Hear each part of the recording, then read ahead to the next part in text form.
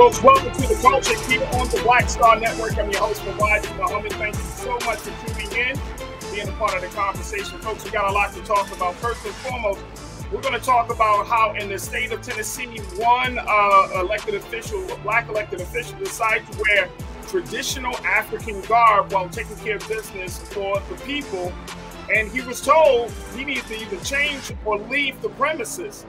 Yeah, we said that. I'm asking the question: Should elected officials be allowed to wear, you know, uh, cultural garbs while they're handling government business? We'll have that conversation. Also, we check in with the wealth whisperer Alicia Holmes to give us some insight about her five-day free online workshop that's building wealth and financial freedom for Black women and women of color. We'll have that conversation, and later on. The, movie Till is being screened by the White House tomorrow.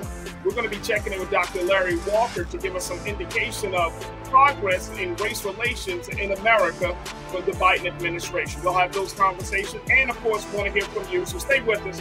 It's all happening on today's edition of The Culture right here on the Black Star Network. Let's go.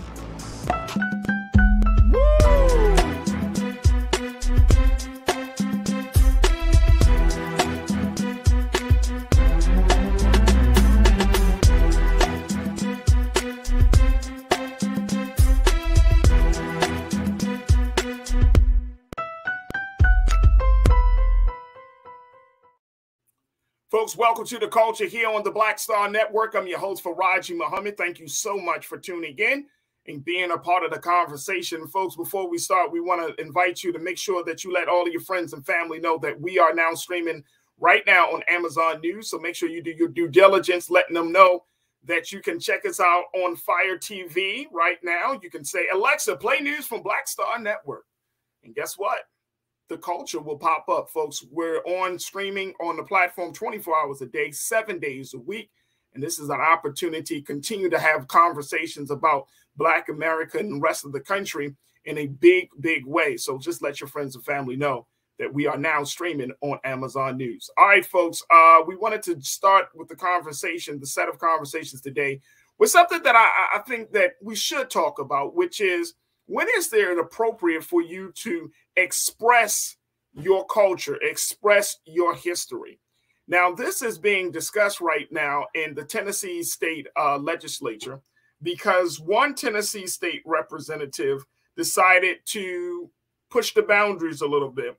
Um, the Tennessee House GOP um, had told State Representative Justin J. Pearson to explore a different career after wearing a dashiki on the House floor. Take a look at this, folks. This is interesting. They did not like the fact he's a freshman Democratic state representative, Justin Pearson. Um, they told him that GOP, they run the state of Tennessee. There's the brother right there.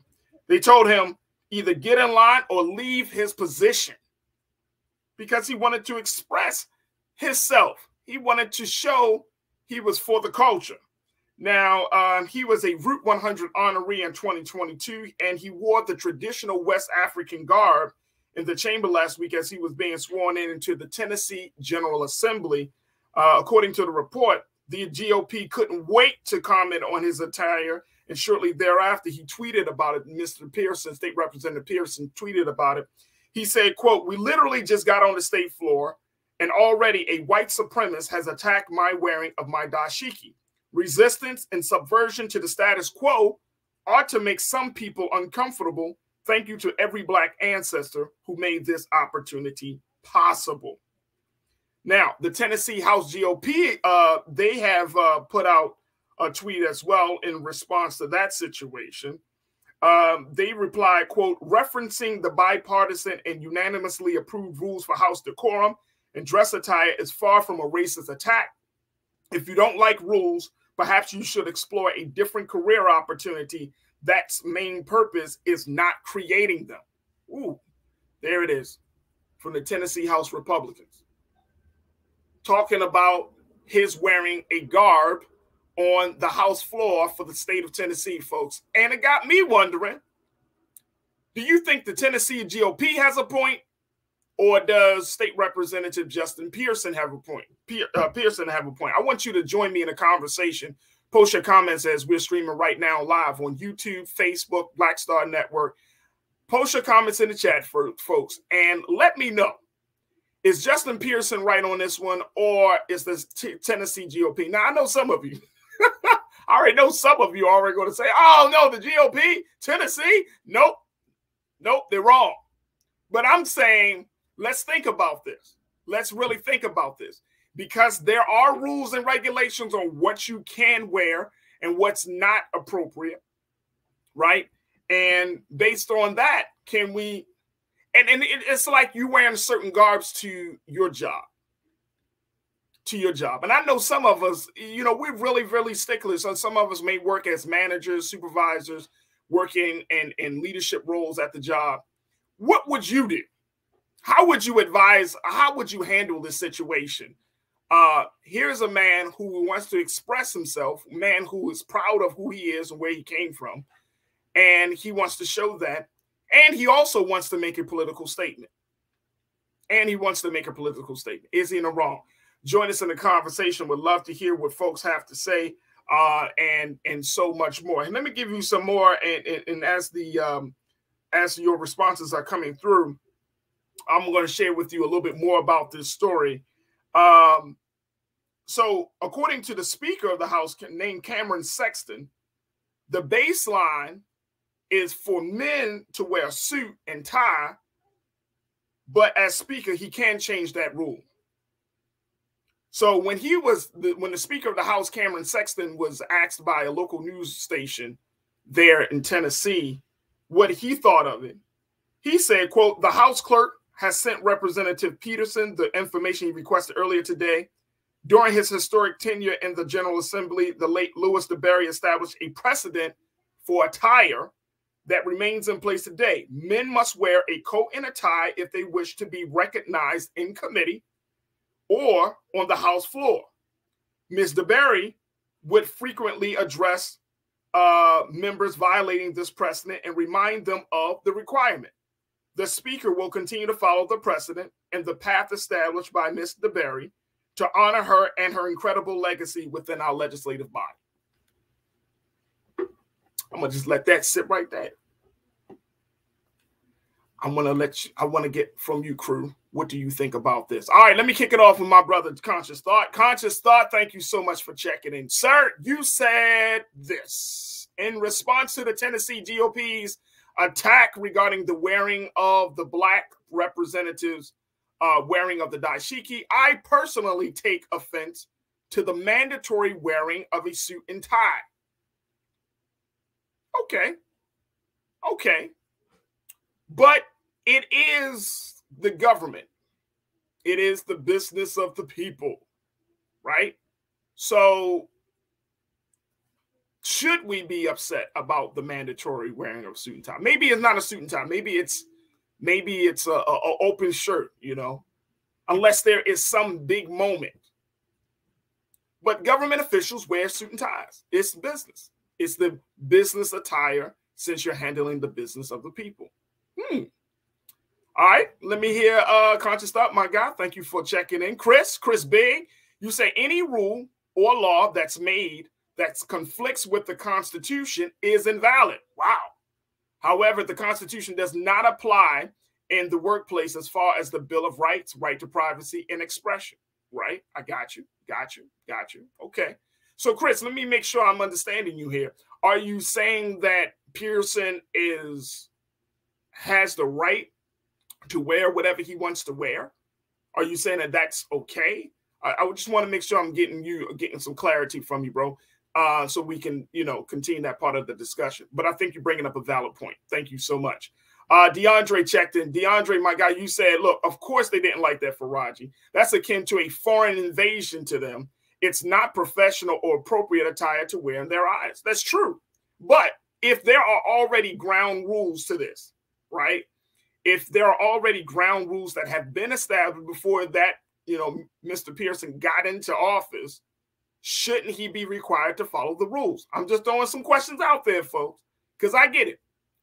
But again, I'm gonna go back to my initial point where some of us work in spaces where you can only wear certain type of things. There are dress codes. We got dress codes for school.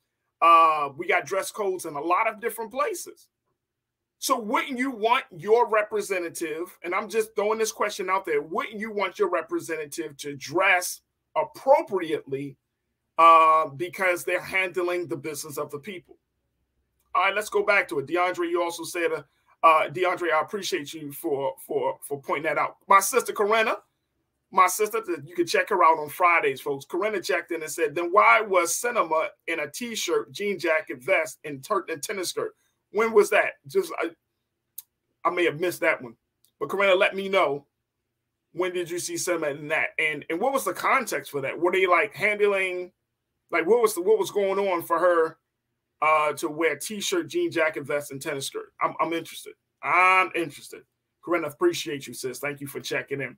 I mean, I think that, this is the part of the conversation, folks. It's like Justin Pearson, if he's he was on it, like I said, about the Root 100, he's a young black man. So he's coming from a different place culturally. He's also coming from a different place from a different generation where now you have more young people who are looking to express themselves, push back against certain type of rules and regulations and boundaries. And we love it, but we also kind of cringe on it. I know, I know, I know some older black folks cringe on it. I want to hear from some of the older black folks because I remember I have gone into spaces, right? Uh, for years, I would wear like a shirt and tie all the time in spaces because I was, because it was always told to me, and I, this is what I grew up thinking about, folks. It was always told when I was taking care of business, uh, when we were doing any type of organized work, I would wear a suit and tie. And people were blown away because you know you weren't walking around young people. And I was always say, well, you wear a suit and tie because I want them to see themselves as a certain way, you know, uh, more business, more professional. So I, I wore that not just because, you know, I enjoyed wearing that, but I felt like it was also my duty to kind of reflect a different part of the culture that they weren't used to seeing. Because the whole idea is opposites attract. Opposites attract, right? So I wore that. But I understand that in this day and time, this generation is different. If you're coming from the hip hop space, right? Hip hop, they don't wear suit and ties. They wear open shirts. They wear the the women wear certain things. You know, there's not always dresses. It's all, but it depends on the industry. It depends on the work that you do. Look, we got to take a quick pause. Conscious thought. I see you. You responded. Um, I, I want to share with you, or uh, share with, with with folks what you had to say. And folks, let's continue to dialogue about this. Does is State Representative Justin Pearson is he wrong for wearing a dashiki on the House floor in the state of Tennessee? even though there are already rules and regulations on what men and women can wear while handling government business, while handling the people's business, or should he be allowed to just wear whatever he wants to wear? I want to get your take on it. Folks, we got to take a quick pause. When we come back, more of the conversation. Stay with us. We're just getting started here on the culture on the Black Star Network.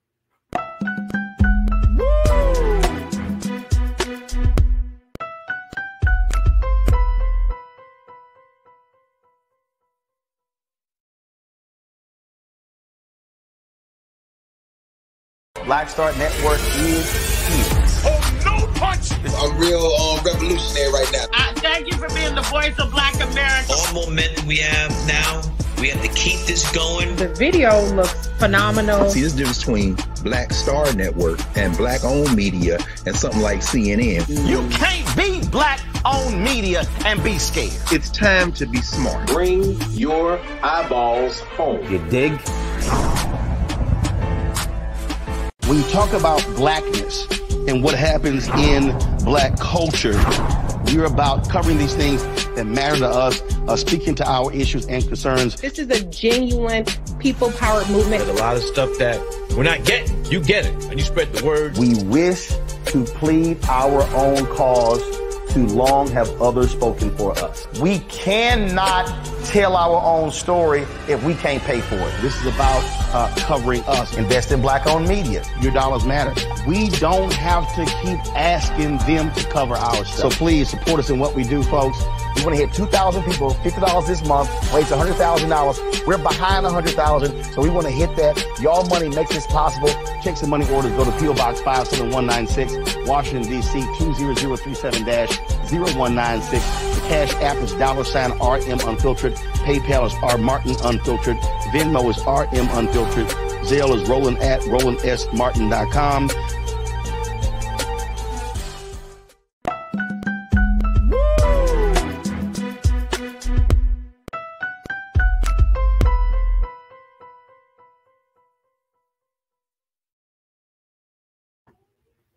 All right, folks, welcome back to the show. We've been talking about the case of uh, State Representative Justin Pearson, who is a state representative in, his, in the state of Tennessee. He's a freshman representative, and he recently went on to the uh, state house uh, floor wearing a dashiki. And the uh, Tennessee GOP leadership told him, "Can't do that, sir. Can't rock a dashiki on the state floor on the house floor. You either do that or you change." Your career if you want to make that type of statement. Ouch. Now he says that he's he refuses to back down, and the, and, the, and the Tennessee GOP leadership is saying, "Look, this is as a result of a bipartisan agreement on what to wear when handling the people the, the, the people's business while handling government affairs. Who is to blame? Who is to who is to change? Who is to who is right and who is wrong in the situation, folks? Well, I want to hear from you post your comments in the chat as we have this discussion. And I think it opens up a conversation about a lot of things. Uh, one is the, about where we are right now. Uh, Justin Peterson is a young black male. He's coming out of the hip hop space. He's also coming out of the space of social justice and activism. Look at him. There you go. My man is rocking the dashiki. He's rocking the afro. So he's coming from a very, very pro black Afrocentric space. And he's also an elected official. So can you can you be both? Can you can you walk the fine line of being for your people, representing for the culture, wearing certain garbs, or you know, can you you, you just acquiesce and say, you know what, I'm going to um, just go back down to a suit and tie? Should the garb, should elected officials be allowed to wear traditional cultural garbs while handling the people's affairs? That's the big question I'm asking you, folks. All right, let me get back to you, you crew, and hear what you got to say. Uh, Corinna, you said um, that you can't recall when Kyrsten Sinema wore that T-shirt and jean jacket, but she was in the big chair on the Senate floor with the T-shirt and jean jacket vest. She had on a tennis skirt when she gave the thumbs down to the minimum wage bill. I don't know. I don't know what's what was going on with that, Corinna. I, I really don't know what happened. I don't. I didn't see that moment, but that sounds crazy. that just sounds crazy to me. So I'm not sure what was going on. What was going on? If anyone else in the crew knows about that moment, please let me know because that just sounds wild. That she's voting and all of that in this. I don't know. I don't know. And here's the thing, folks. Do you want your government official? And again, I'm, I'm not talking about if they're out in the community. I'm not talking about if they're, you know, part of a some type of gathering, some type of parade or something. I'm talking about handling the business in the state house, in the, in the White House. Would you want your government officials to wear whatever they want to wear, or do you want them to come to to the state house, to the White House in a very professional, quote unquote, professional manner? Or doesn't, or it doesn't matter to you? Uh, Janelle, my sister, you say Sinema wears the wildest stuff all the time. during orientation, there was probably a discussion about dress code. If so, then he was being defiant and inappropriate. If not, then no. Well, you don't know. Like, I don't know. And that's a great point. You don't know whether he was told this beforehand and he was like, all right, bump it. I'm just going to wear what I want to wear. Or it was like he never seen the rules and regulations and thought, but here's here's the thing though. He's not slow. He's not slow. You know what I mean? Like like when you wear dashikis, when you wear any type of cultural garb, especially as black elected officials, you know it's going to ruffle some feathers. You know what I'm saying? People have literally died for less. You know what I mean? So you know that, and I'm I'm not saying that to to throw shade on the brother. I'm just making a point that he he knew that it was whether it's appropriate or not. It's a political statement. It's always been a political statement. How many times have we seen uh, uh, um, any elected official, uh, community organizers, activists, some of our great heroes and sheroes who have come and stepped up in government places with full garb on. From you know, Black Panthers, they used to come into without even without talking about the guns. They had the leather jackets and the in the in the berets, and that was a revolutionary style. That was the attire at that moment, right? And that was like to let folks know, like this is this is who we are what you wear speaks volumes about how you think and who you are. Uh, so it's a great point, Janelle. We don't we may not know the answers to whether he knew before or after, but it's a great point. Thank you for checking in. Uh Janae checked in. You said just imagine if someone wore locks, they would ban that person too. Is beyond ridiculous. The GOP is trash. Yeah, I probably wouldn't get in, Jan- Janae. they look at me like, what's your name? Muhammad. And you wear oh no, sir. No, sir. I'll be like, I'm here to testify. From home, we'll bring you on a virtual chat.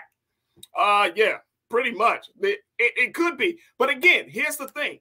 Do we want to push the emphasis? Do we really want to uh um is that something that we should be calling for to change? And again, I know that there are older folks who are like, no, that's not appropriate. We could be pro black, but you could still wear a suit and tie. I know there is. Tiana, uh, Janae, thank you so much. Sis. Tiana, you checked in and said, Look, I'm so sick of the culture wars. State Representative Pearson should be able to wear a dashiki. Boom, it is. There it is. Um, Danny Lee, you checked in. You said dashikis can be worn formally. I do have a comment about Representative Camper. I'm not sure why she was all uh, she was defending and standing with GOP traditions. That is why we can't move forward. Um, yeah, I'm not sure. I'm not sure either. Great point though. Uh, Keenan, my man, Keenan got the. Uh, let me, hey, Keenan, let's let's show the the the the photo of of Kyrsten Sinema wearing with, with the thumbs down. If we can pull that one up for bro. There we go. I don't know what the hell is going on there. What is that? What is she doing? Kyrsten Sinema, boy, she she a special individual, folks. That's all I can say. I, I, don't know what is going on. I really don't know what is going. Looks like she just stopped by after like running some errands or something. I'm not sure what is going on here. Mm. I, hey, Corinna, I don't know. I have no idea what's going on with that. It doesn't look like there was a, a major decision, like there was a huge vote on the floor the way it's set up, but I can't tell. I cannot tell. But even that, the fact is, it still got people talking, right? Because it's it's not considered to be the normal, appropriate thing. If somebody took a picture of her wearing that stuff with her thumbs down, it's just, it's still a it's still it's still the point of she's kind of out of order. Pauline, you checked in. Good to hear from you. You said, why don't they stick to the people's business and stop worrying about what we are wearing? Well,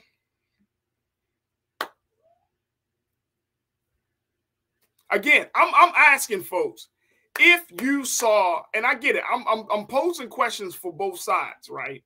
Because I'm gonna be honest, like I'm I'm just trying to think, like, okay, do I want my representatives to wear t-shirt and jeans, right? And it's fine. Like there's always the talk about representation. But when you are a public official, you're not just representing yourself, you're representing your constituents. And especially for black elected officials, I think I hope black folks understand this. I hope we all understand it. Like black folks, we have a different standard. Folks, let's get out of our minds that there that we get so shocked that there's a double standard. Like we've been in this country for over 400 plus years. Of course, there's a double standard. Y'all gonna make me shake my locks looking crazy. Of course, there's a double standard, folks. But here's the other thing. Are you just representing yourself or are you representing the best of your constituents? And what does the best of your constituents look like? There we go. Sister Karen, my sister Karen, you checked in and said, I love cultural dress. However, when you are employed and paid by someone else, you dress as the employer requires the dress code should be followed by all cultures. Here's the thing. Now, again, Karen, I think thank you for mentioning that because the sometimes the conversation can get real crazy because we're talking about GOP, we're talking about the culture wars and whatnot. What if the Democrats had said something to Justin Peters, to Justin Pearson, and said, please don't wear that? What would have what would have happened if that was the case? But I'm with you there, Karen. That if you you you signed up, see when we sign up for jobs, when we get certain roles and positions, we we signing up for everything. We're signing up that we're going to be we're going to follow their rules. We're signing on for the fact that uh uh uh we're going to be a representative of that institution of that company, right? We're signing up for, I mean, we're signing on to all of these things. It's not just like, oh, I get a job and I get to do what the hell I want to. No, you sign on to how you use your time, what time you come in, what time you clock out, when you have your lunch, if you have that type of job. You sign on, I mean, you sign in for working on weekends, you're working on nights, working on holidays. You sign up for this. You can't sign on for something be like, man, I ain't doing this. I ain't doing that. I ain't do I know that's culturally that's how we like to do. Man, they got me working on weekends. Well, you should have known that your job requires you to work on weekends. so you're absolutely right. I think that's the part. Is it about the rules or is it about the the, the personalities and the, and the emotions behind the personality? Because again, it was black people that said to him, "Hey, Justin, bro, I, I understand you, brother. You just coming in, but here we like to represent in a suit and tie." Would you be mad? he might have had that conversation with some older black men in the state legislature down in Tennessee. But would you be mad for pulling him up about it? I don't know. Uh, Damon, my brother, you say I'm one of the older ones in the culture crew. I have no problem of him wearing a dashiki. With that, they make these rules to keep us from wearing these cultural items and etc. I get it. I get it. I get it. And I know, uh, Damon, you are an engineer. I don't know what type of dress code um, is required for the spaces that you're in. But I'm sure you talk to your son, your, your 18 year old son, tell him about rules and regulations and dress codes, and that if he decides to step outside of those things, right, then be, be prepared for the consequences. Like, it's okay, fine. You want to push the envelope? That's certainly fine. Just know that there are going to be some consequences for your actions. So that's the other thing. Uh, just to throw out there another in another situation as it relates to this, the lawmakers in the Missouri House of Representatives in January, they adopted a stricter dress code for women as part of a new rules package, and now requires them to uh, cover their shoulders by wearing a jacket like a blazer, a cardigan, knit blazer. Um, this is something that's that, that CNN reported on, but the this they have a dress code package because I, I, bet you it's coming out of a space where people felt feel like their individuality is being denied, right? And that's the that's often what we find ourselves, right? A lot of times we we push back on rules and regulations because we don't want to. We feel like, look, this is my individual expression. This is who I am. All of those things. But again, folks, again, when you come in, you gotta you gotta figure out whether that's the situation that's the situation. Look, I got to take a quick pause. I appreciate y'all for checking in and being a part of the conversation. Hopefully, and I'm to keep my eyes on this. I wonder how they're going to play this thing out. Are they going to revise the rules for the dress code or what? We will have to see. Look, I got to take a quick pause. When we come forward, we're going to have our sister Alicia Holmes to check in to talk about how she is doing her part to getting Black women in particular uh, in a space of financial freedom and so much more. We'll be checking in with the wealth whisperer herself, Alicia Holmes. So stay with us. That conversation comes up next here on The Culture, only on the Black Star Network.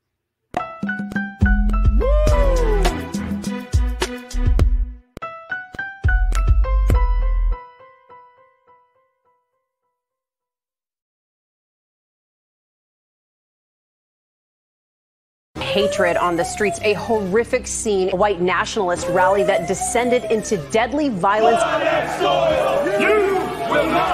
White people are losing their damn minds. An angry pro-Trump mob storms the U.S. Capitol.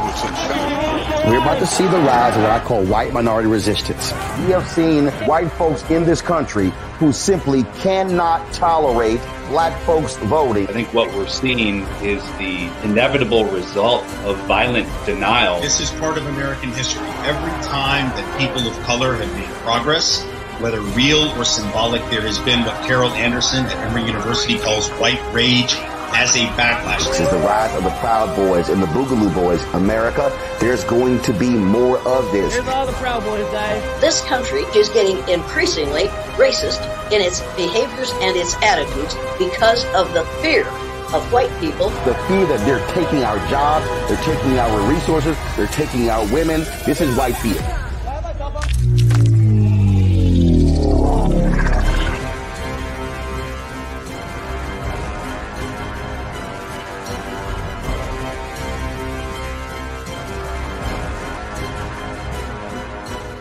Black Star Network is here. Oh, no punch! I'm real um, revolutionary right now. Uh, thank you for being the voice of Black America. All momentum we have now, we have to keep this going. The video looks phenomenal. See, this difference between Black Star Network and black owned media and something like CNN. You can't be black owned media and be scared. It's time to be smart. Bring your eyeballs home. You dig?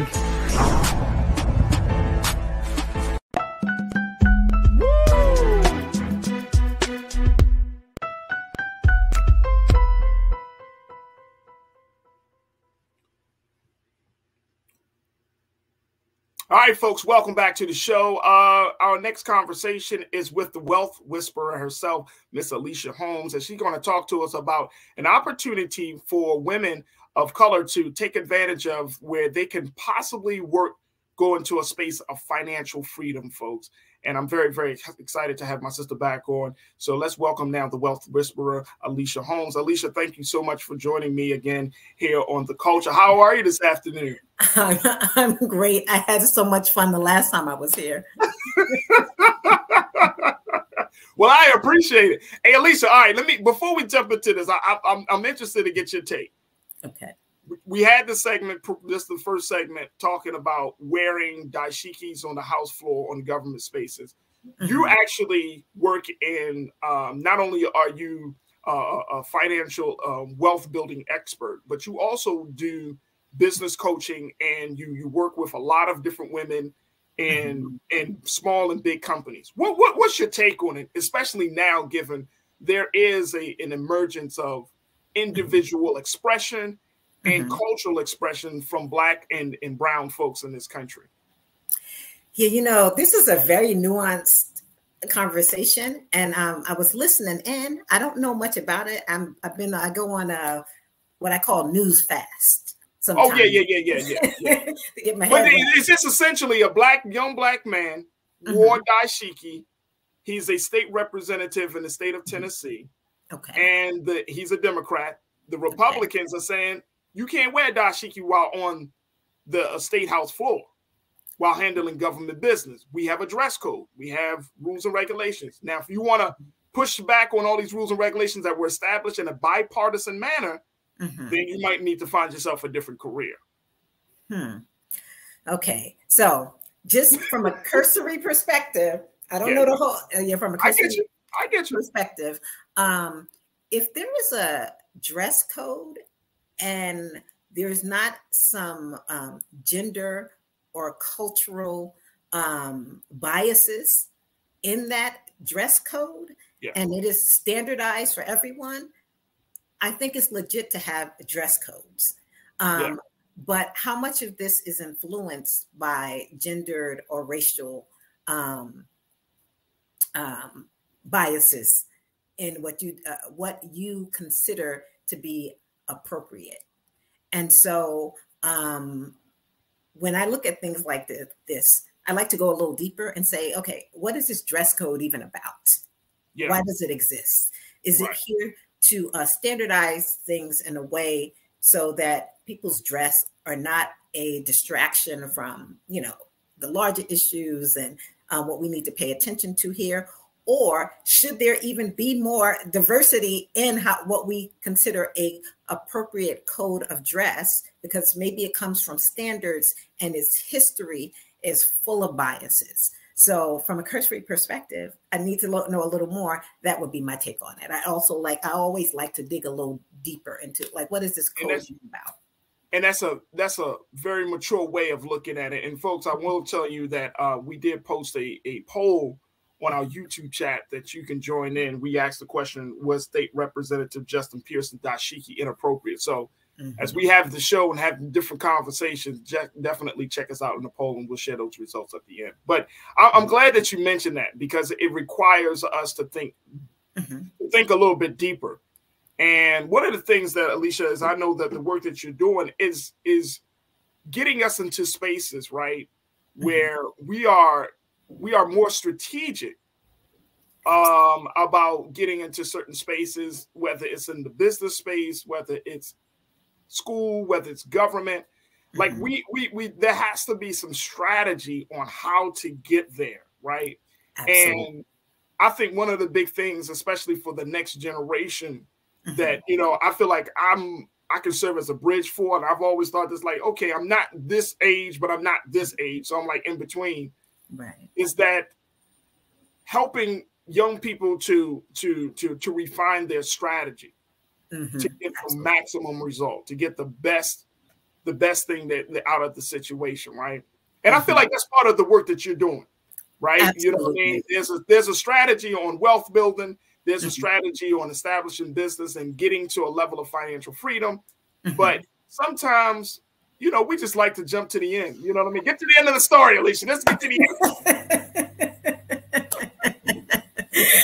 no, okay, no. okay. You want me to save and all that stuff and change my and change my behavior, but when am I going to get ten thousand dollars at the end of the month? Okay. No, we want to go way past 10K. We want to build businesses that are trillion dollar businesses that setting up the future of where things are going in this industrial revolution. We want to be creating that. We want our children to see mm-hmm. themselves as builders and creators in this fifth industrial revolution where we are right now. I'm so glad, so glad you started here. Um, there's so much, there's so, we're in a very interesting time. We know we're in this recession, but we're also at the beginning of this fifth industrial revolution. If we're paying attention to what's happening right now with artificial intelligence, um, quantum computing, digital currency, and we can't even call it digital currency because it really is currency now sitting on the blockchain, which is really programmable money that you can actually set rules around, which, which is a whole different world and dynamic, which is literally what cryptocurrency is. But we're talking about everything healthcare, education, agriculture, transportation, everything is changing and changing rapidly. And you started this with talking about our children, our our children being prepared to be the ones building and shaping this world, this shifting world that we're living in right now. And um, mm-hmm. That's a big question. Mm-hmm. I mean, I have a nine year old and I have a three year old, Alicia. Mm-hmm. And every day, mm-hmm. you know, I think about what the world is going to look like in the next five years and what the mm-hmm. world is going to look like in the next 10 years once my son gets of age to do certain things. Right. Mm-hmm. So I think that that's, that's, I, I think that's the, that's the hard part, especially if you are a black parent. Right Right. If you have black children, or if you have black, if you're a black grandmother, black grandfather, or you taking care of some babies or some young adults, right?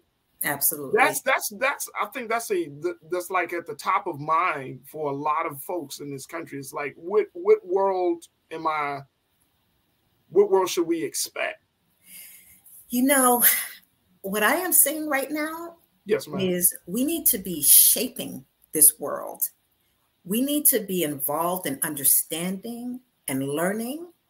And just as an aside, you know, I have two grown daughters, and for a time period uh, when they were young. They were very young.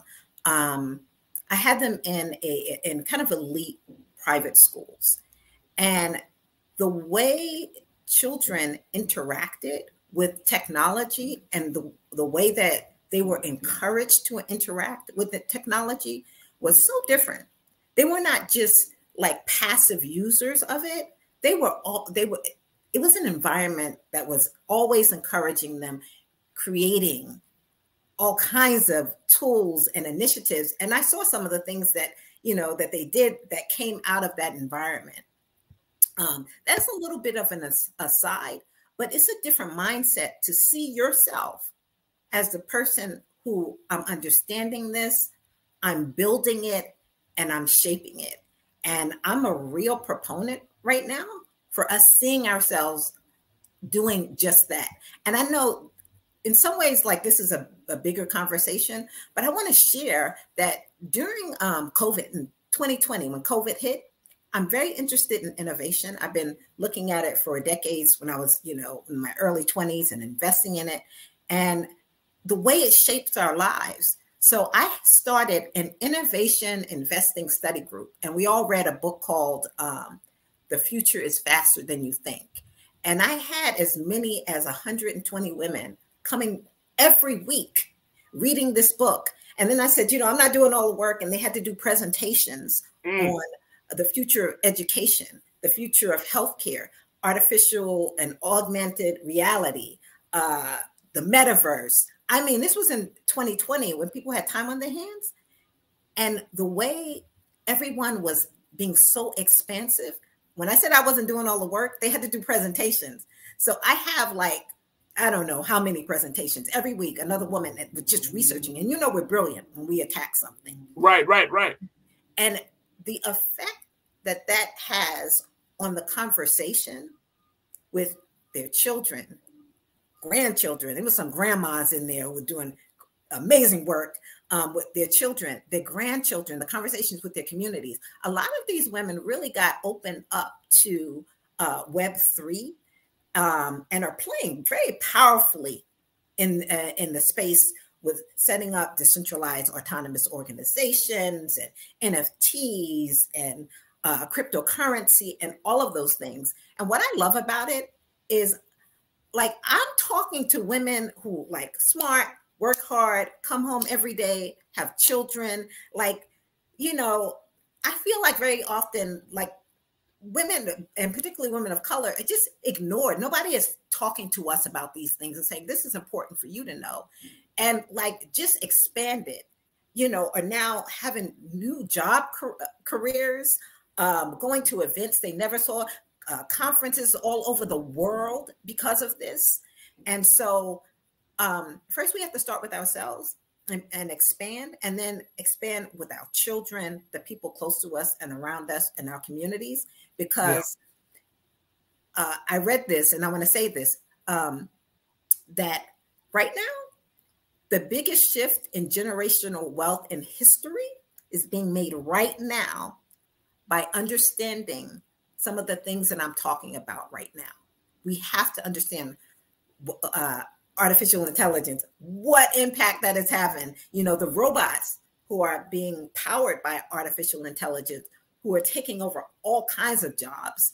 And then we have like Chat GPT, and then Google is coming out with its own version. And the capacity, if you play with this stuff, what you can do and create, and the brilliance, well, the information yeah. um, that is coming out of it. And you know the future predictions uh, this artificial intelligence being able to do just everything that right. a human can do so I, I can't stress enough that we is early enough still for us to see ourselves like let me learn more about this let me sit at the door let me be in conversation um, what kind of future and jobs like you know, uh, software engineers are now uh, developers, engineers are making a million dollars a year. I know a kid personally who's a friend of my daughter's that are literally this is this is this is how valuable these skills are. Are our children being prepared to be a part of shaping that? Are we prepared? Are we in mm. conversations? Are we understanding what's happening right now? Lisa, uh, let me let me let me let me let me put you on pause mm-hmm. because we got to take a quick pause. But when we come forward, I want us to kind of delve a little deeper in that, and and I do have a couple of questions about that, mm-hmm. um, especially when we're seeing there's so much advancement on the technology side in the scientific space. Um, there's so much advancements in terms of innovation, mm-hmm. but then yet when we're looking at uh, when we're looking at the human being, I'm talking about how we think, how we behave. The, the the, the you know when we're looking at when we study human behavior, decision making, the science and art and skill of understanding the, those social sciences, right, as it relates to mm-hmm. as much as there is all of these advancements, there's something that is holding us back as human beings where we're fundamentally are, you know, uh, are suffering from some sort of, um, um, you know, as they call it, you know, aberrations or mm-hmm. aberrations where we're still not mentally seeing each other as human beings we can we can relate better to technology than we can to other human beings. So I, th- there's a lot of conversation about how do we prepare our children and ourselves for this vast, fast growth, while at the same time staying human and understanding the humanity of other people. So there's the, I, I want us to kind of dig deep. I got the I got the answer. I know we got to take a break. All right, I got to take a quick pause. Checking in with the wealth whisperer, Alicia Holmes. We're going to talk about that and a whole lot more. She got a five day free workshop uh, that is going to be happening for women of color for financial freedom. Folks, we got a lot to talk about. So stay with us. It's the culture here on the Black Star Network.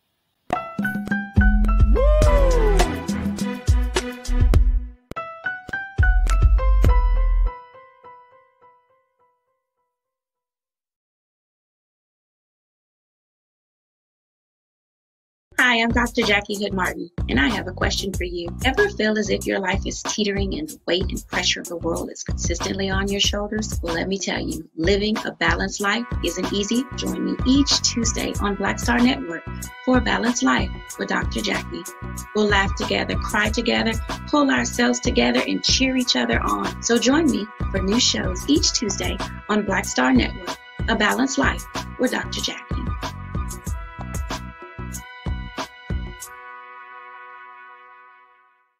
Black Star Network is here. Oh, no punch! I'm real um, revolutionary right now. Uh, thank you for being the voice of Black America. All momentum we have now, we have to keep this going. The video looks phenomenal. See, there's difference between Black Star Network and black owned media and something like CNN. You can't be black owned media and be scared. It's time to be smart. Bring your eyeballs home. You dig?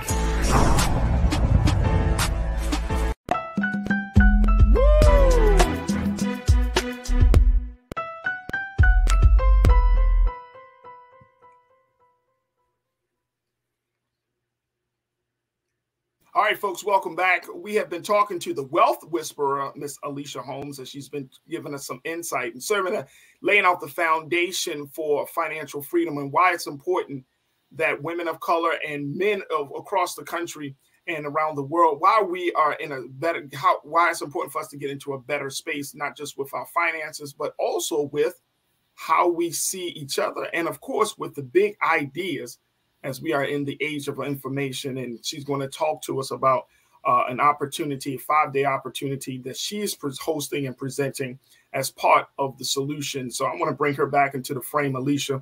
It's always a pleasure to talk to you.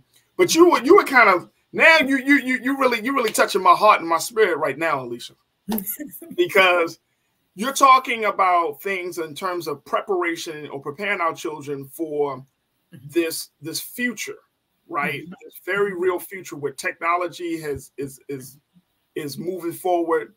Mm-hmm. Um, there are a lot of innovations in various spaces, mm-hmm. and so you're asking a very pivotal question: Will we be prepared?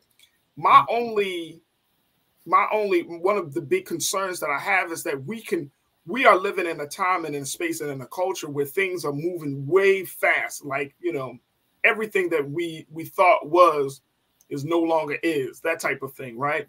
Mm-hmm. but the, everything is moving fast except the development of the human being. So it seems like it seems like we're getting, and I'm saying as human beings, seeing each other's humanity, mm-hmm. um, being compassionate, mm-hmm. the, the the the the fundamentals of what it means to be a human being is slowly being diminished or being overlooked. It's, it's all about oh what's on the outside of us. But what about doing the great work? What about the growth and the cultivation of us on the inside? So that way, when we get, you know, our hands or when we are exposed to technology, we don't use those things for nefarious purposes. It's like, like, how do we grow in that space as well? I'm fine with technology growing. We in AI, metaverse, we got all of these different innovations. But if you have a messed up human being who is designing these products, or you have a messed up human being that is using these products to take advantage of other human beings, then is it really a technological benefit? Is it a scientific breakthrough when human beings are still being denied their own humanity? Okay. So there's so much I could say to this. I know. well, we're just talking. This is talking. No, I'm serious. Like we're just yeah. talking. This is part of the culture, right? Because right. we often we're, we're in a time where people are looking looking for stuff on the outside, and it's like we may have to slow down a little bit. Like, yeah, the world is moving faster, mm-hmm. but as black folks and as brown folks, as folks that are who whose whose roots are in mm-hmm. who are who roots who roots are in nature, who are rooted in the universe, like that's not the pace that we should be working at, or I don't think we should be working at, right? Mm-hmm. Like we can't keep up with that pace because we're denying ourselves in the process, or rather de- negating ourselves in the process. Oh my God, you always leave so many things just rushing through my head about everything. I know. I'm so sorry. so, one of the things I would say is we can't see ourselves as passively just receiving all of this technology that we feel that is lacking the humanity that we'd like to see as a part of the technology. So when I say that we need to be a part of shaping it, technology doesn't have to look the way it looks. Right now, it's being designed by very few people with a lot of power. And the thing about this industrial revolution is that there are not a whole lot of barriers to entry that they were in other industrial revolutions. And every industrial revolution has some conversation about things are moving too fast, what's going to happen to all of the ways that things happen in the past. But you know what? You move forward, things change, and then you set up rules based upon those changes. So, you know, the invent of um, of automobiles and um, you know, that put the horse and buggy out of business. And, you know, and people were like, you know, the exercise, uh, the telephone, how that, you know, put uh, couriers of the time out of business. And, you know, and then you had, once these things were in place, you created new dynamics around it. So what I want to say right now in the fifth industrial revolution, that's what we're in. There are very few people shaping it. We act like we're passively, we have to passively receive these technologies. No, we get to get in there and be the engineers and be the designers and have our children see themselves as, oh, mm-hmm. oh, we're going to be the engineers, the designers, the creators of new ecosystems that will shape it. But how do we get there? So, so that it's not going in the direction. If we don't like the direction it's going to, yeah, we have to be more involved. So, how do we get there? First, it's a mindset shift, and that mindset, that mindset shift looks like us seeing our own power here, and us understanding we're in the information age and knowledge is power like never before. Right. Those ladies, when we were looking, reading that book and looking at what's happening in biotech, when we were looking at flying cars and we're looking at 3D printing of homes, and you know, we could be strategically thinking about our input, the companies we can build that will change the outcomes for our community and give access to our children and all of those things. And so it starts with fundamentally a mindset shift, which is why I have the program that I have coming up, and I'll talk about that. And we'll talk about that in a minute because yes. I, am glad that you bring that up. It's mm-hmm. a mindset shift mm-hmm. that is going to be required by parents and children, by all of us. Mm-hmm. Right. Mm-hmm. But you got a lot of people that are pushing back on this, man, because as much as we've been, we we can talk about the future is now. We've also been conditioned to believe that the future is in someone else's hands. Yes. And, and I'm going to talk about it. I got to take another pause, but when we come back, I want us to talk about it. Folks, stay with okay. us. We still got a lot more. We're chopping it up with the Wealth Whisperer Alicia mm-hmm. Holmes, and of course with you. Post your comments in the chat, and let's continue to have the conversation right here on the culture on the Black Star Network.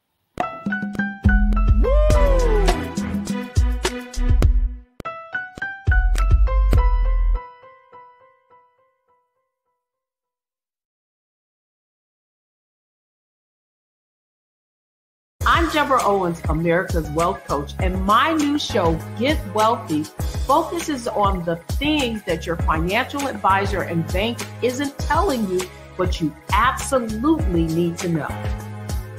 So watch Get Wealthy on the Black Star Network.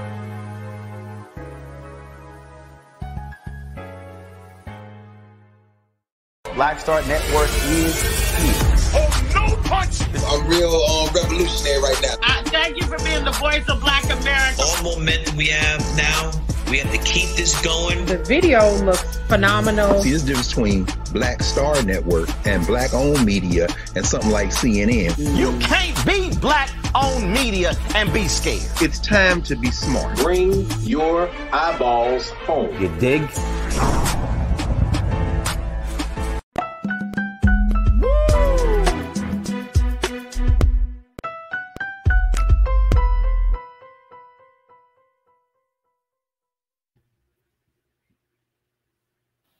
All right, folks, welcome back. We've been talking to Alicia Holmes, who is a, uh, a wellness expert.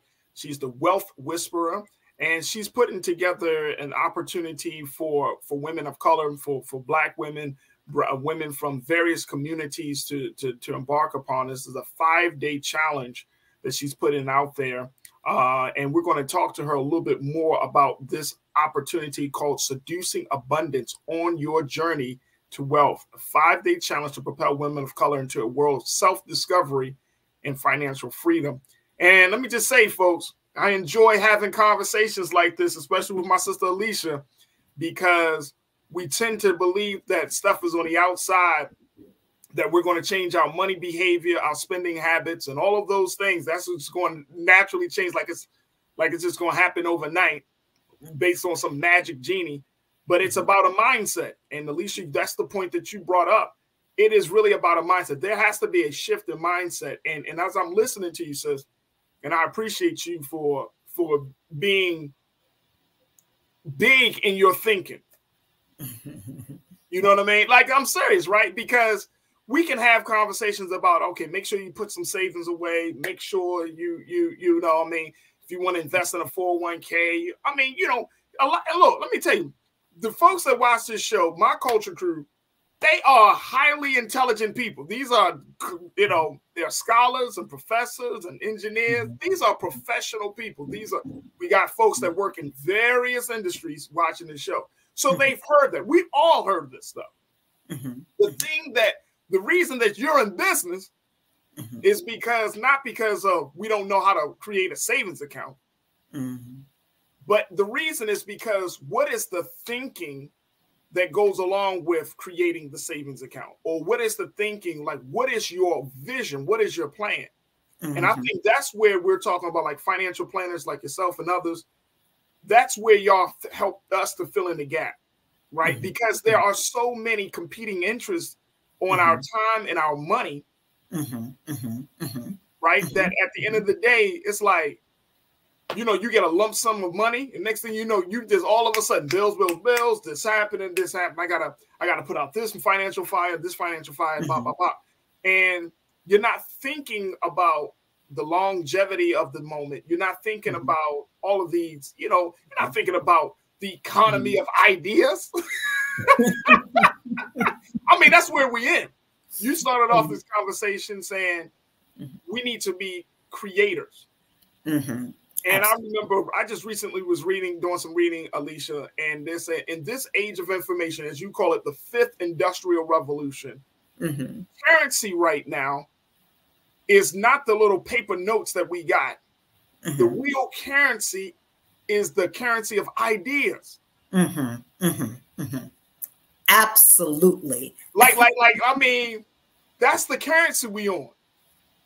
And, and, and and this is why I think it's important for us to have this conversation the way we're having, because yes. they're attacking, and I'm saying they, and this could be whether I'm not just talking about white people. I'm talking about anybody that mm-hmm. is um, closing out the light of truth in this day and time. That could be black or white people.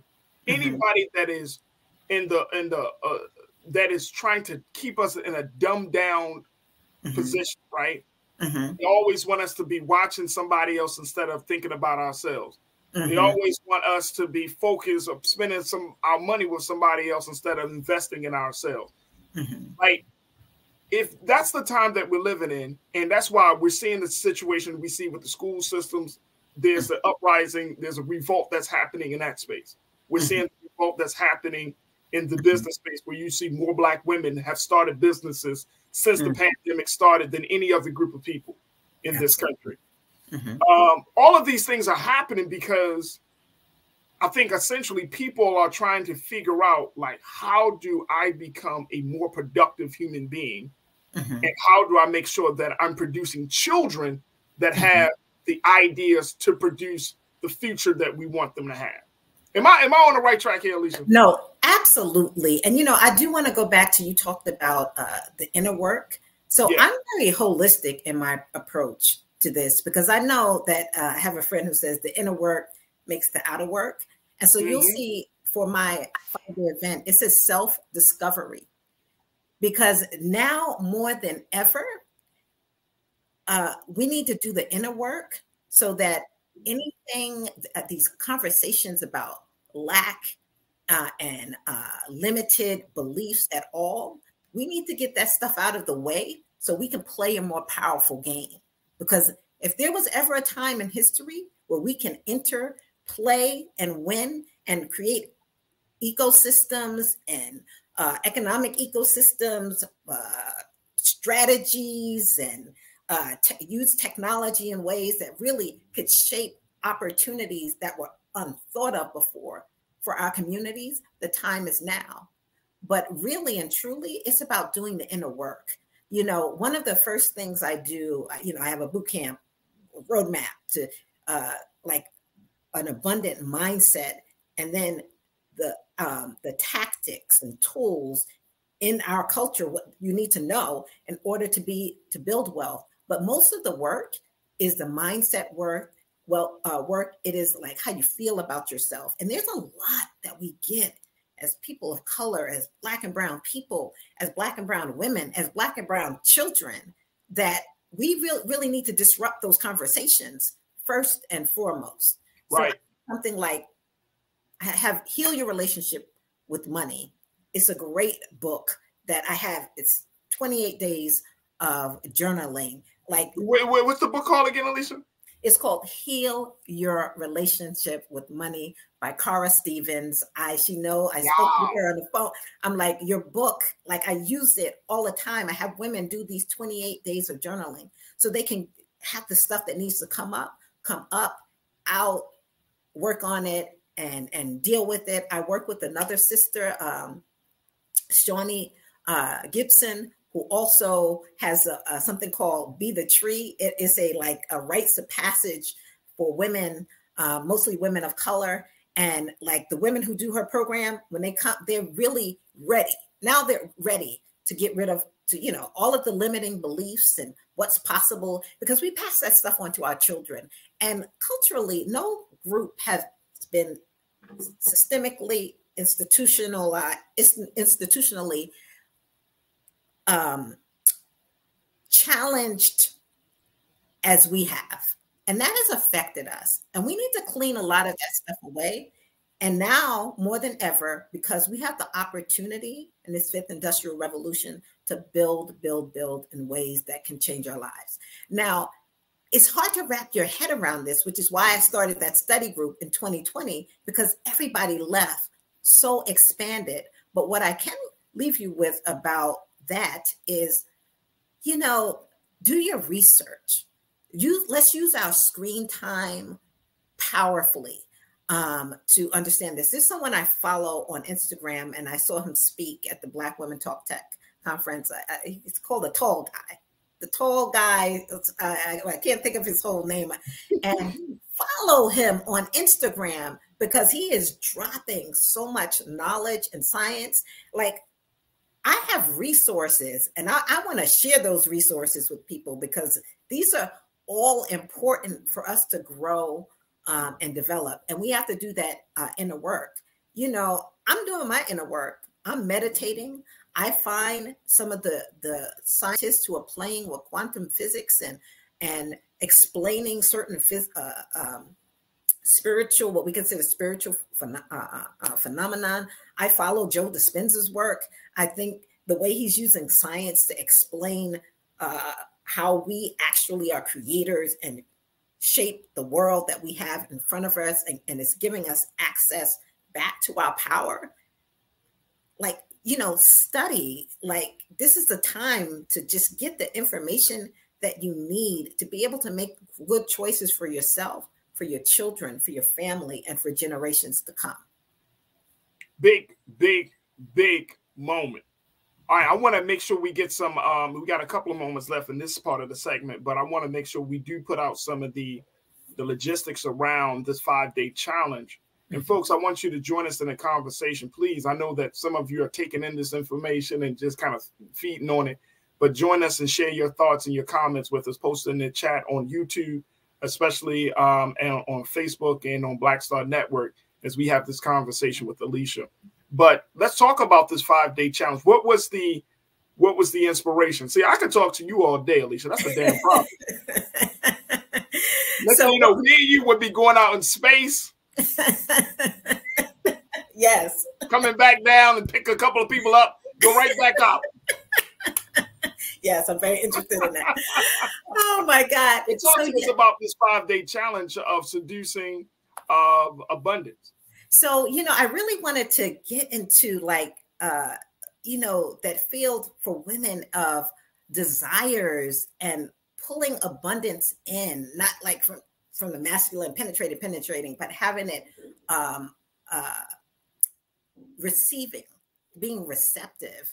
Um, and so this challenge, you know, over the years, I have met phenomenal women doing amazing work in the world. Many are so successful, but so and so heart centered. And so I curated some women to come and speak to other women about all of it.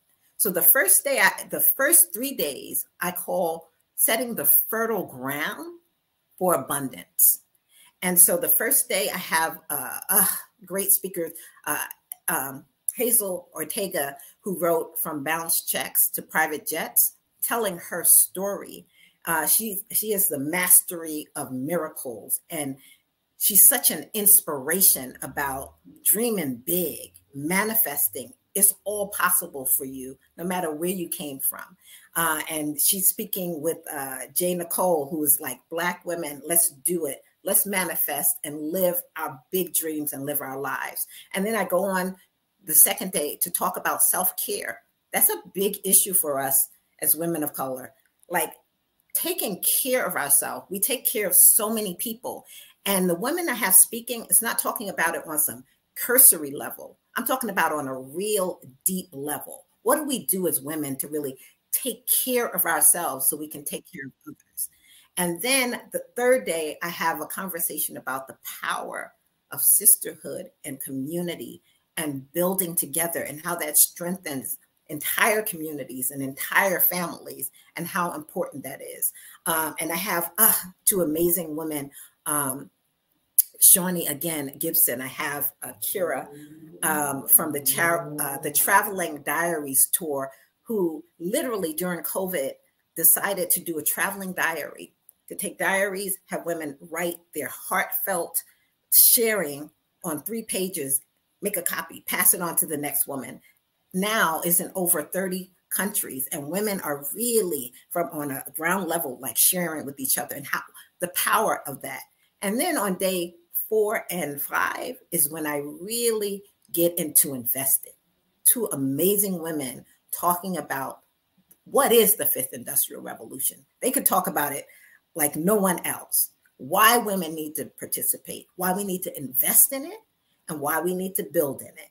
Uh, um, uh, Jatali Bellaton, who is a dear friend of mine also, uh, and Shalita Burke. And if you if you look at either one of these women and what they're doing in the world so powerfully, sisters, powerfully investing, building in this world. And then on Friday, I have um, uh, a sister talking about uh, venture capitalists pre-seed funding getting in early, understanding she's focused on com uh, companies that are building out the future.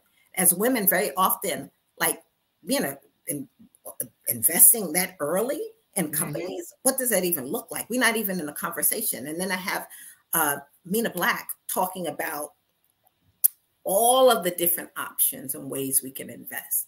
You think when something goes on Broadway, there's not investors?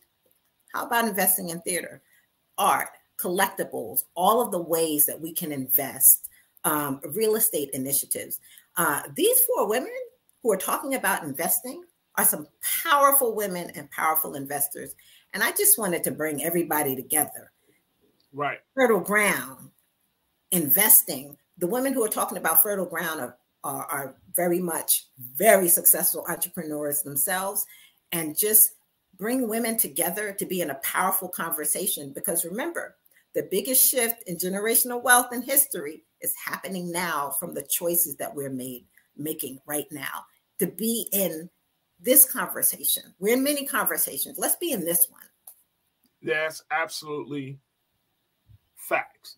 Absolute facts. All right, we got to take a quick pause. When we come forward, more conversation with the wealth whisperer Alicia Holmes, and of course with you. Stay with us. It's the culture here on the Black Star Network.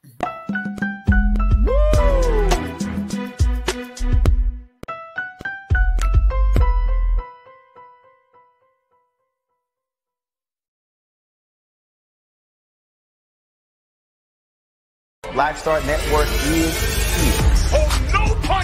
No punch! I'm real um, revolutionary right now. Uh, thank you for being the voice of Black America. All momentum we have now, we have to keep this going. The video looks phenomenal. See, this difference between Black Star Network and black owned media and something like CNN. You can't be black owned media and be scared. It's time to be smart. Bring your eyeballs home. You dig? When you talk about blackness and what happens in black culture, you're about covering these things that matter to us, uh, speaking to our issues and concerns. This is a genuine people powered movement. There's a lot of stuff that we're not getting. You get it, and you spread the word. We wish to plead our own cause too long have others spoken for us. We cannot tell our own story if we can't pay for it. This is about uh, covering us. Invest in black owned media. Your dollars matter. We don't have to keep asking them to cover our stuff. So please support us in what we do, folks. We want to hit 2,000 people, $50 this month, raise $100,000. We're behind 100,000, so we want to hit that. Y'all money makes this possible. Check some money orders. Go to PO Box 57196, Washington, D.C. 20037-0196. The Cash App is dollar sign RM Unfiltered. PayPal is R Martin Unfiltered. Venmo is RM Unfiltered. Zelle is Roland at RolandSMartin.com.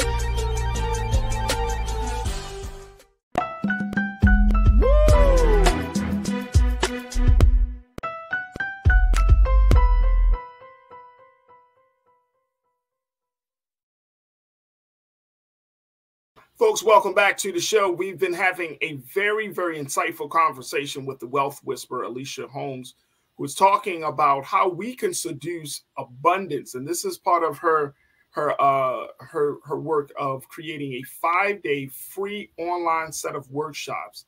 Here it is to propel women of color into a world of self-discovery and financial freedoms. And if you've been listening to Alicia, you can hear that it's just not about dollars and cents, folks. It's about how we think, it's about the environment and the space that we find ourselves in, it's about the culture and how to maximize not just our wallets and our and our profits but it's about how to maximize our productivity how to maximize our thinking. And i want to we got a few more minutes left with alicia this afternoon and i'm so so grateful for my sister for coming on and talking about the you know the work that she's doing because there's a couple of folks my in my in the crew that are like my sister Lana, one of our uh, loyal watchers. She said, "Sister is connecting physics and spirit into the conversation about money."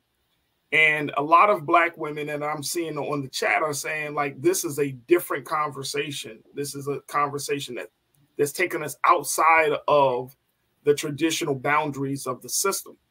And I think that for, for black people in this country, I think that's important, you know, and, and, and it, it, for you, Alicia, as a woman who's bringing all of these wonderful black minds, these wonderful women of color to come together, mm-hmm.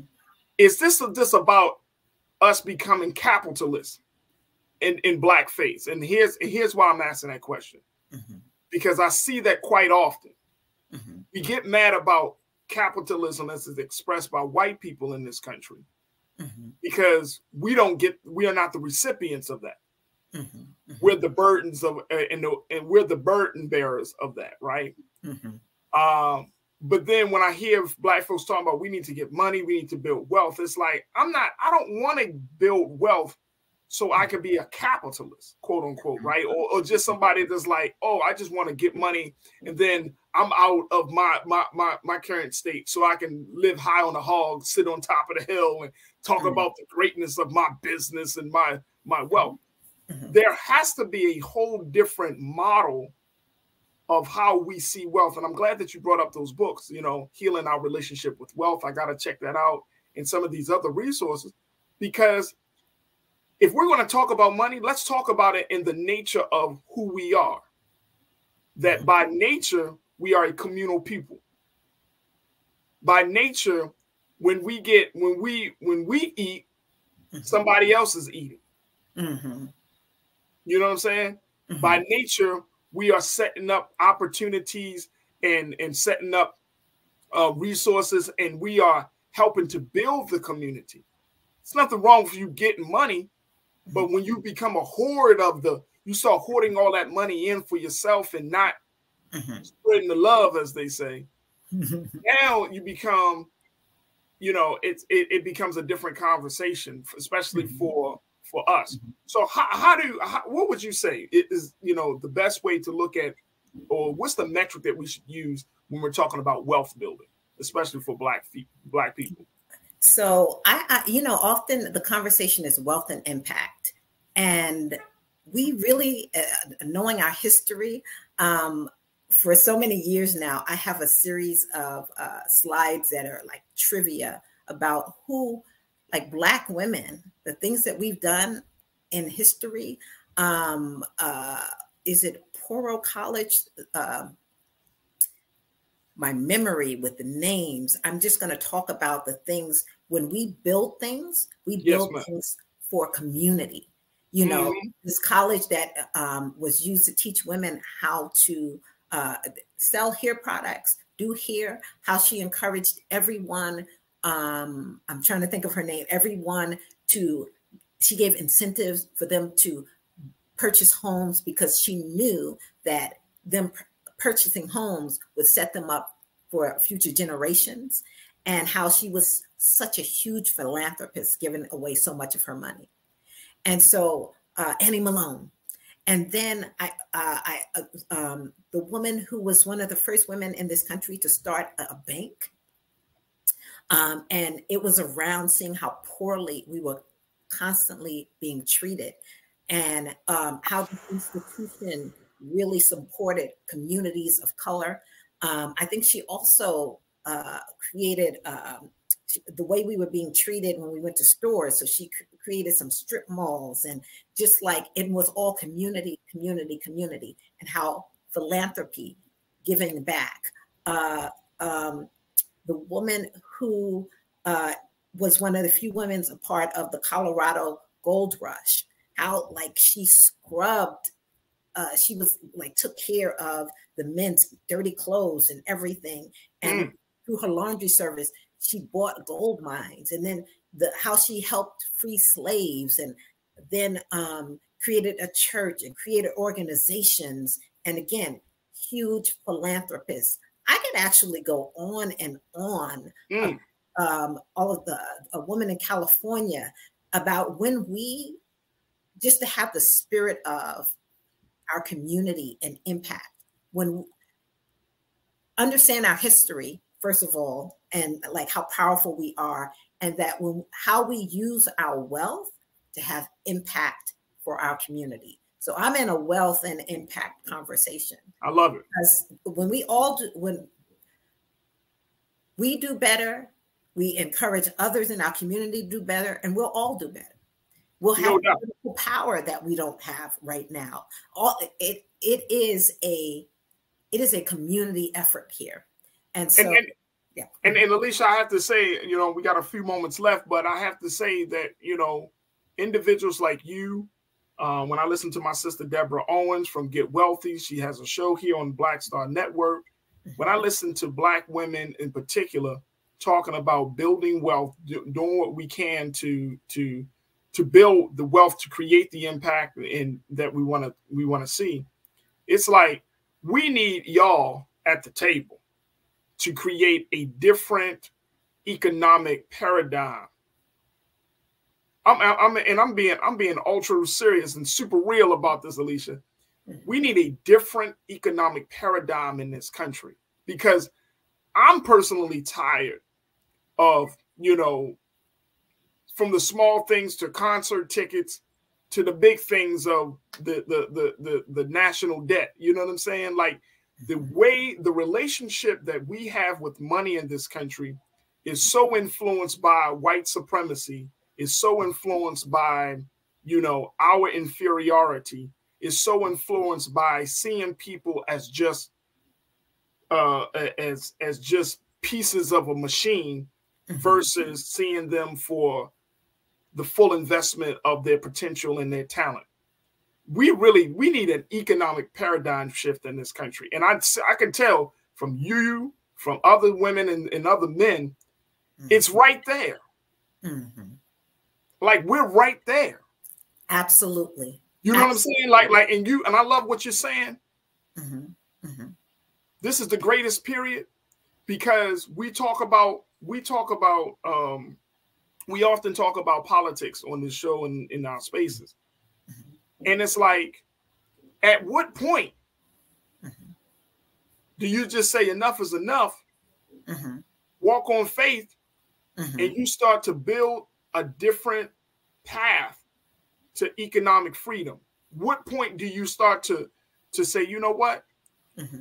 I'm going to reject the way that this system has taught me to to handle money Mm-hmm. I'm going to reject how the relationship that I've had with money based mm-hmm. upon failed thinking.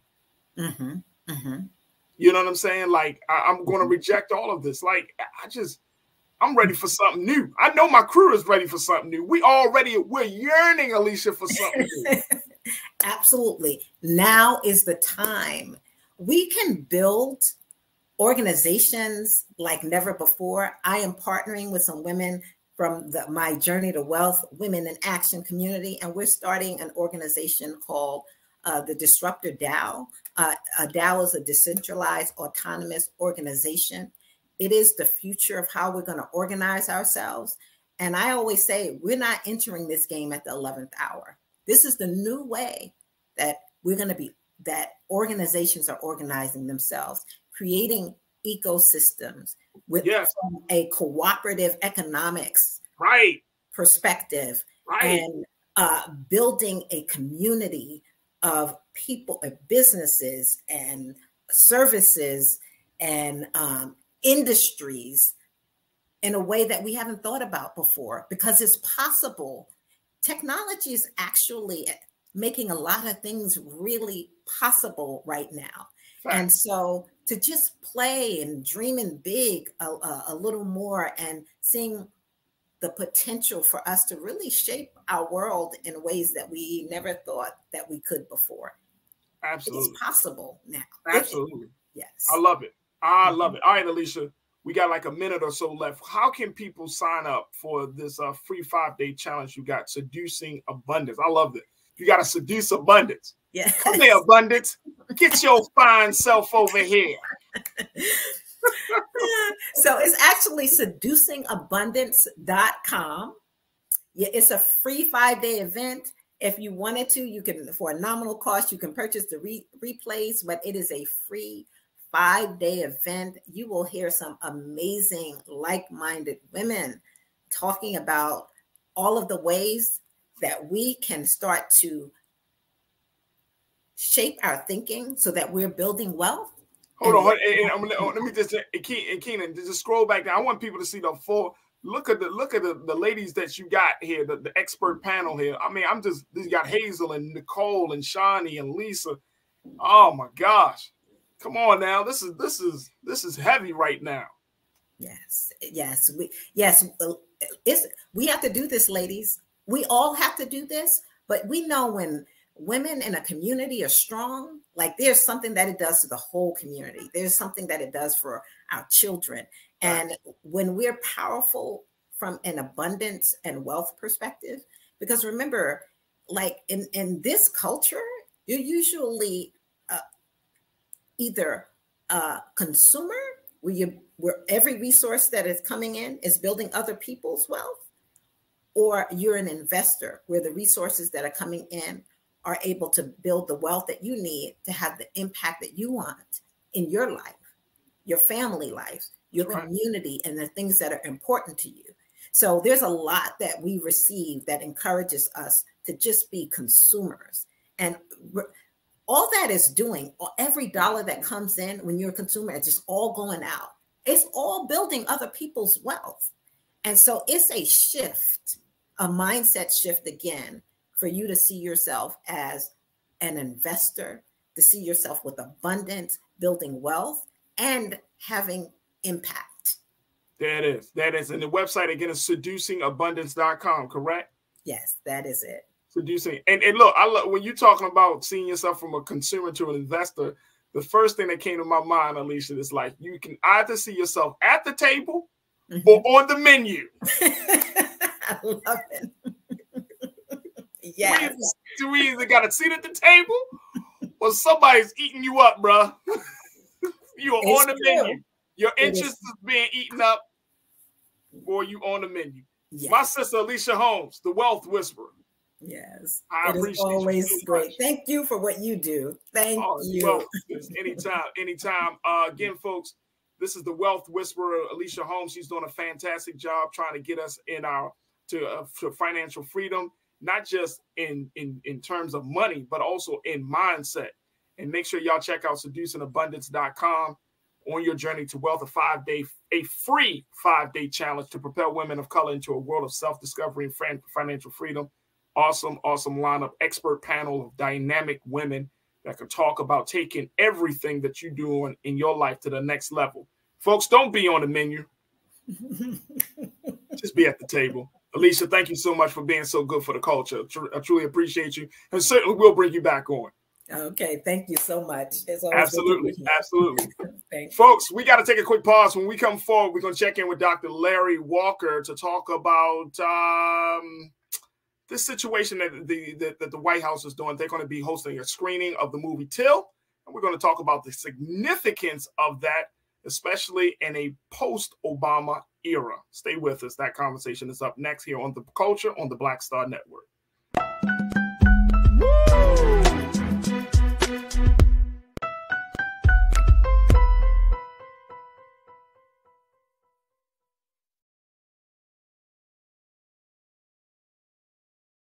When you talk about blackness, and what happens in black culture. We're about covering these things that matter to us, uh, speaking to our issues and concerns. This is a genuine people powered movement. There's a lot of stuff that we're not getting. You get it, and you spread the word. We wish to plead our own cause too long have others spoken for us. We cannot tell our own story if we can't pay for it. This is about uh, covering us. Invest in black owned media. Your dollars matter. We don't have to keep asking them to cover our stuff. So please support us in what we do, folks. We want to hit 2,000 people, $50 this month, raise $100,000. We're behind 100,000, so we want to hit that. Y'all money makes this possible.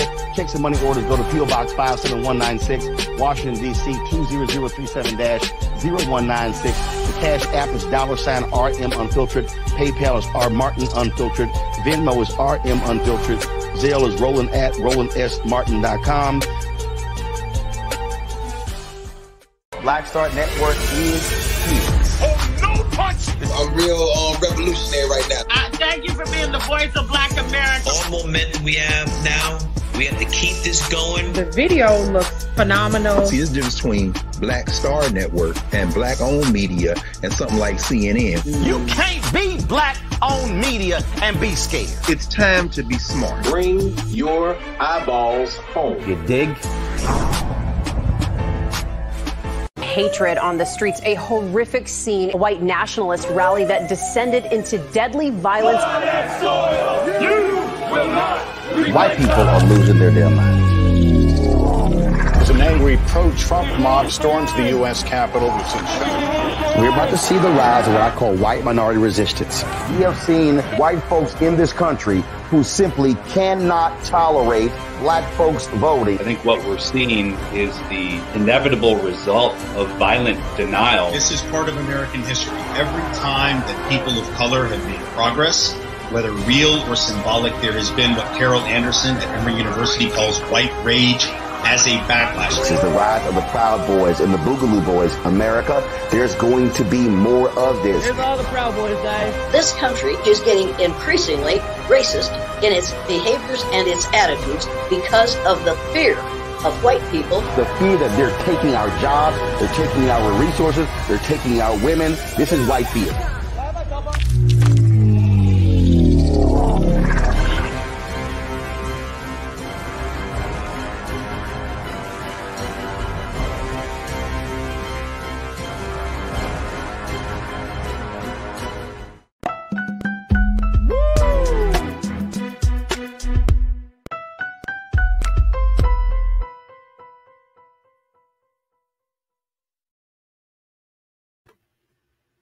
Folks, welcome back to the Culture here on the Black Star Network. For our final conversation, I wanted to have a discussion about something that's going to be happening at the White House tomorrow, where the Biden administration will be hosting a special screening of the movie Till.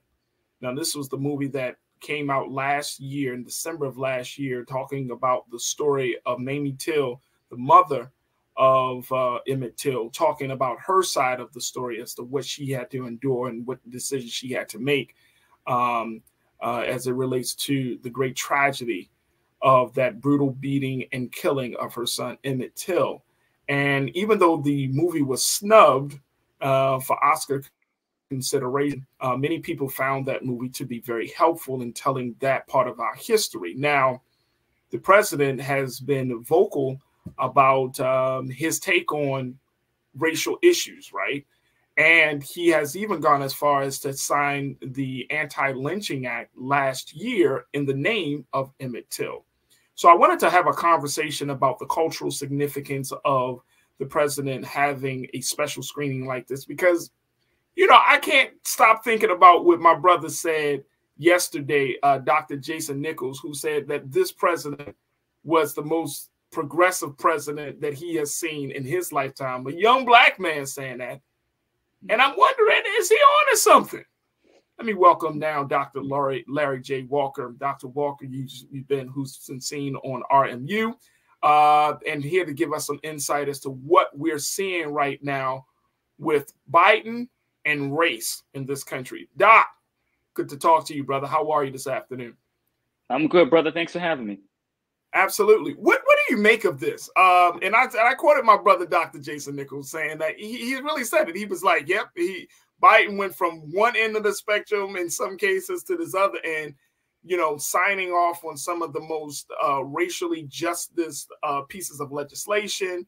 He's putting, you know, he's showing that he is growing in some ways, that he is progressive and far progressive than his predecessors and now we got a showing of a movie about Emmett Till at the White House. I, I'm no shade to President Obama.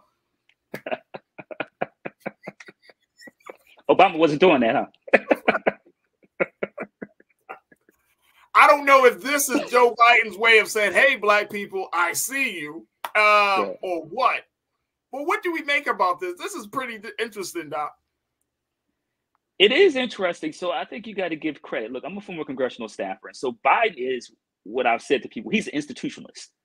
And that's been part of some of the problems sometimes. Right. He's old school. He's been around for decades. And listen, he's more historically of a he's a moderate Democrat historically. But I got to agree with you 110%. He has really progressed a lot since, and I maybe argue, obviously, even when he was running for president, in terms of what he said he was going to name as a black woman which he did, um, he would and then select a black woman to be the first Supreme Court justice, and then obviously she was confirmed by the U.S. Senate. So, but Joe Biden really is um, he had surprised me. I had to be I have to be frank with you, and I think that that what some is important is the role of black women. Right. This is critical, and I think people don't give VP Harris enough credit. First of all, the job of the VP is to kind of be in the background, but while she's in the background, she's still advising them and giving them feedback. And so what does this signify in terms of the White House having showing till tomorrow night? This is going to amplify the movie, and you talked about it. I agree with you, obviously, in terms of Oscar snubs. And to be frank, as Black folks, we're used to this every year being snubbed for movies that are historically accurate and talk about tragic issues. But the fact that he's having this at the White House would mean the New York Times, CNN, MSC, Fox, everyone else is going to, co- to cover it to some extent.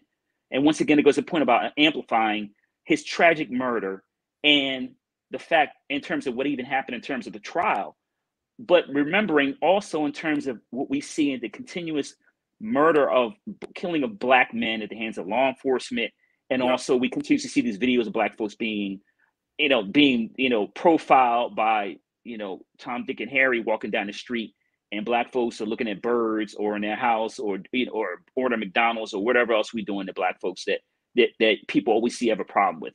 So I would say he's come a long way on issues like this. He has come a long way. Now, here's the thing, Doc. My thinking is, how do we, as the constituents, I mean, you you you worked in administrations, congressional staffers, you understand the dynamics of of putting something out there to the public and the impact that it has coming back in. Um, but for the constituents, what what are the, the proper metrics that we should use or can use to determine whether something is political theater performative versus if it's legitimate? So let, us be clear, because I work for a politician or a politician thinks you're right. This is political. anytime, you, anytime you screen a black film at the White House, especially a black film that is the murder of a black child, it is without it, without a, it, it is political. And let's keep in mind that we have an election coming up next year and also, he needs the black vote, particularly, like I said, we already know what the numbers in terms of how black women come out. But this is political theater, but is a political theater for a purpose. Now, listen, he could have, you know, there are a number of other movies he could have he could have screened, but what allows him to do is connect um, policy and purpose. So he signed anti-lynching law in the name of Emmett Till, which I'm going to highlight. That Rand Paul held up for a long time. I just want to highlight that because it's really important to talk about that. But the fact that he actually signed legislation puts the connects policy and purpose. So the policy was signing the bill. The purpose is we're amplifying it at the White House, having this event. We're inviting all these people, and then I'm going to talk about it. And then so as he, over the next couple months, as he's running for president, and he goes into black communities, he can say I'm the first president to sign this legislation, right? Policy, and then the purpose is I amplified it at the White House. So do do we do we play a role in in in making things political? Because when the president does, and I'm saying any president, right? But let's let's use Biden as an example. Anytime the president does something for another group of people, and then we it comes back to us, we're like, well, what about us, right? So we kind of put him in a space where it need it has to be political, right? Like it has to be a big deal when he does something for black people. Is that is that is that our fault? No, because that's the nature of politics. And, and especially for those who, you know, you know, like myself, you know, others who live in within the beltway, right? This is this is this is how the game goes. And so for for black folks, we're also in terms of other when it comes to other racial ethnic groups, we're constantly putting the, the foot on the pedal and we're constantly holding folks accountable. So listen, why you know President Biden has done a lot of great things in terms of you know um, nominating a number of more than any other president black women to federal benches. There are times that we feel like we need to hold him accountable. We think he's not doing what's necessary because once again, black folks helped him, helped him get elected, particularly in states like Georgia's and other Pennsylvania, my home state, etc. So, you know, yeah, we do we make it political? We have to because our lives are on the line. Let's be clear. Like right. this anti-lynch bill is in the name of a black boy that was murdered. So right. black folks have to constantly um, pressure policymakers, particularly when we talk like you know, I'm a former congressional staffer of the CB and it worked for a CBC member, particularly when we talk about the role of the CBC and maybe not pressuring necessarily publicly, but giving a call, someone like Clyburn, giving a call and saying, look, Joe, I think you need to do this. Right, right. Now, how do you foresee this situation around the George Floyd Justice for Policing Act to go?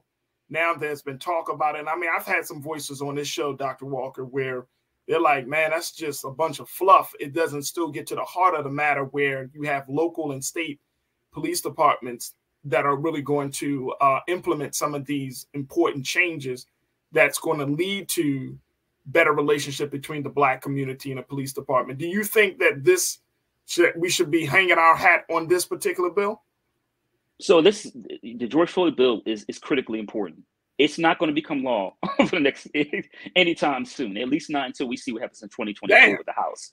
So Damn. I mean, let's, just, let's let's be clear. Republicans are not supporting the George Floyd Policing Act. They're not. And to be frank, the bill should have should have been law prior to them, you know, taking the House. But we can talk about all the antics in in the, in the Senate if we like to it in a, maybe another conversation. But it's just not going to happen. The Republicans are not going to support it. And you see, if you look at, you know, not even McCarthy, but uh, Marjorie Taylor Greene and some of these other uh, right wingers just criticizing, they're talking about the Black National Anthem. I mean, you think they talking about the Black National Anthem, you think they're talking about comprehensive police reform. It is not happening from a policy standpoint. It doesn't mean the Biden administration can't continue to apply pressure.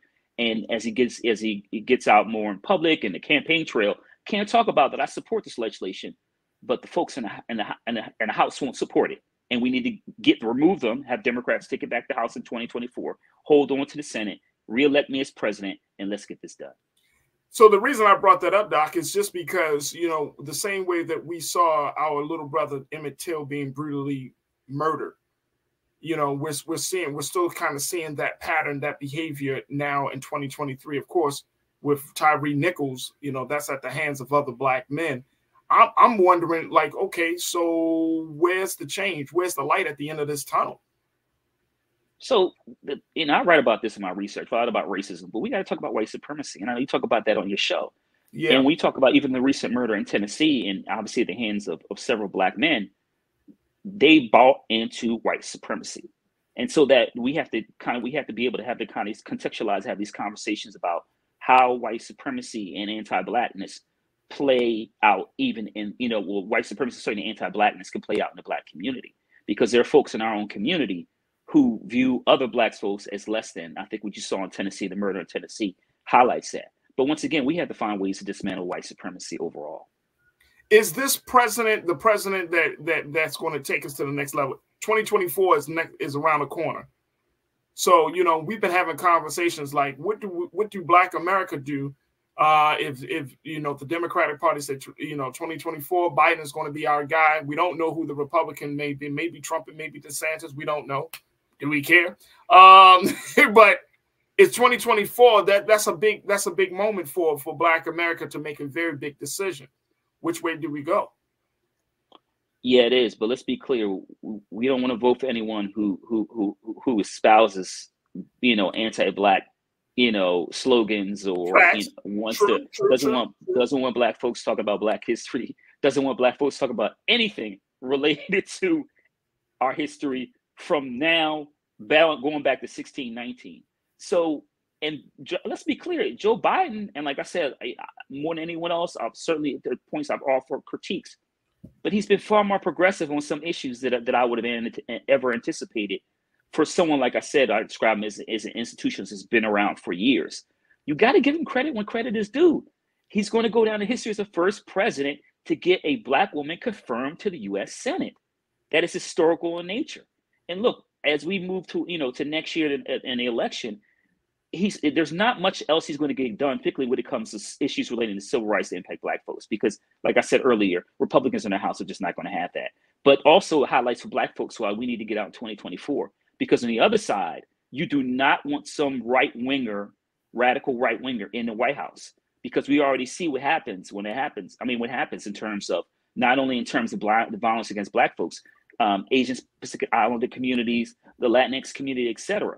So we don't want anyone else in the White House who's going to be espousing all these anti-black policies, which led to the January 6th insurrection.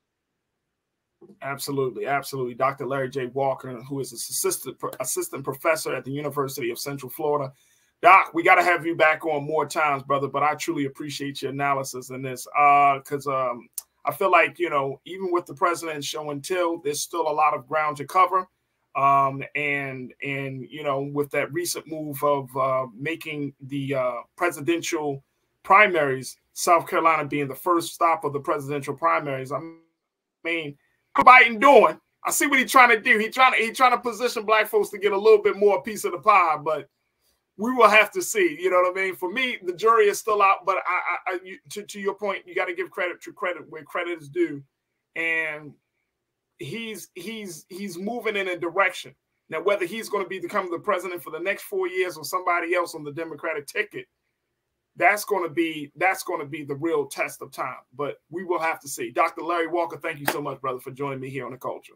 Thanks for having me, bro. Absolutely, folks. We got to uh, wrap up. That's it for us. I want to thank all of my my voices here. I want to thank Alicia Holmes, Dr. Walker, I want to thank my team, Keenan, Joel, my control room, and I want to thank you. Thank you so much. Make sure, folks, that y'all do your due diligence. Make sure y'all check us out on blackstarnetwork.com. Um, and uh, we are doing some phenomenal things that you know, Brother Roland has been out and about taking care of the business. Um, and and we have created shows and platforms. I mean, we're just getting higher and higher. And so your support means everything to us. Go to blackstarnetwork.com today. Uh, you can give financially to continue to support this movement. And you can also share the content. You say, I don't have any money to give, but I can certainly share the content. I can subscribe. I can tell my family and friends to subscribe. I can download the app for free. Let's do it all. Let's do it all. And let's keep pushing the envelope and certainly the conversations that impact us. So go to blackstarnetwork.com. Also follow us on all social media at Blackstar Network on IG and Twitter as well. And while you're there, also follow me Hit me up at Farajii Muhammad. I'm Farajii on Twitter, the real Farajii on IG. I would love to, love, love, love to connect with you. And uh, let's continue to build. And also, folks, if you did not know, Black Star Network is now on Amazon News. So if you have a Fire TV and you want to look for some great cultural conversations about news and information, go ahead. Just tell Alexa to play Black Star News, Black Star Network, and boom, here we come up. My face will come up. Roland's face will come up. Deborah Owens' face will pop up. You know what I'm saying? Tech Life Steph will, will come up. Man, everybody will come up. But that's what we're doing right now. And we're continuing to grow in so many places. So continue to support us. That's going to do it for us today, folks. I thank each and every one of you for tuning in and being a part of the conversation. Stay tuned. Up next is Roland Martin Unfiltered. As always, never be afraid to challenge what's wrong, stand for what's right while being yourself in the process. And uh, I will say that God willing, next week, as we talk about Till, next week we're going to have the producer of Till joining us here on the culture. So you can expect some great, great discussions with him uh, and, and with the team of Till. So that's coming up next week. God willing, we'll talk tomorrow for another exciting edition of the culture right here on the Black Star Network. Thank you for tuning in. Have a great afternoon and evening. Peace.